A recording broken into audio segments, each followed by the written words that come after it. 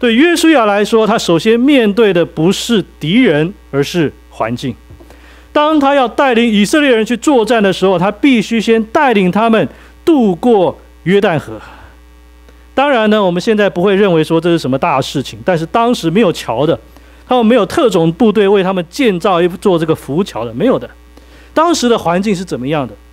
约旦河大约有一一百英尺宽啊，有二十英尺深呢。而在春天的时候，也就是刚好他们在那里的时候啊，是经常泛滥的时节，汹涌的河水，没有人可以渡过。但是上帝也借着这个机会，让约书亚明白能力的来源是上帝。上帝说：“现在我要施行一个神迹。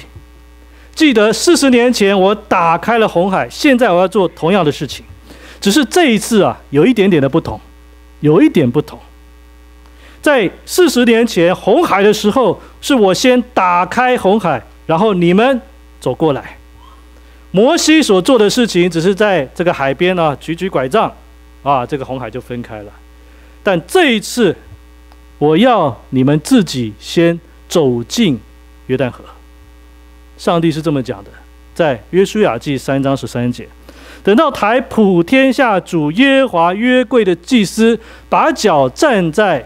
约旦河水里，约旦河的水就是从上往下流的水，必然断绝，立起成累。有哪些事情是你觉得说你知道你应该做的，但是你害怕，怎么办呢？脚先踏进水里。你知道说有些时候神希望你做某些事情，但你没有信心，怎么办？脚先踏入水里。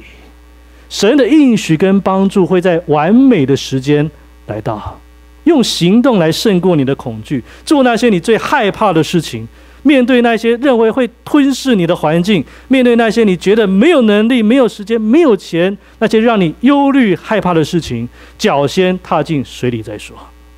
你要知道，那些你所恐惧的事物，只是名词而已但信心是动词。而且是主动词，而不是被动词。如果你想走在水面上，就必须要先离开那艘船的。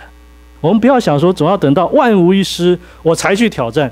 圣经怎么讲的？在传道书十一章四十四节：“望看风的必不撒种，望云的必不收割。”这句经文的意思就是说，如果我们只等待要有完美的条件才开始做事，我们将永远不会成就任何事情。开始去做上帝要我们做的事情，不是明天，不是让我回去祷告看看。许多时候，我们的祷告是：上帝，如果要我侍奉你，就让我有多余的时间。这个是错误的祷告。正确的祷告是：上帝，我现在要侍奉你，你让我有多余的时间做其他的事情。先来侍奉，其余的时间上帝负责。脚先入水，先有所行动。